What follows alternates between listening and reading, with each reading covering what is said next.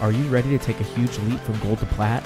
This is the Bronze to Diamond Beginner's Guide for Rocket League, and I'm teaching boost lanes. A boost lane is the natural path that a set of boost pads creates. These lanes are crucial. Usually, going for boost orbs takes you out of the play, mainly because the orbs are on the arena's outer perimeter. Boost lanes are meant to flow with gameplay. Need to get back on defense? Use these lanes with 6 pads or these lanes with 8. Need to stay on the attack after your shot hit the post? Loop around with this 6 pad lane and shoot again. Let's say you're goalie. You cleared to the corner, but your opponent caught the ball. Take this 5 pad lane around to the back post of the goal and defend again with 60 more boost than you had before. There are so many lanes you can use based on where you need to go. In the next episode, we're going to talk about flips.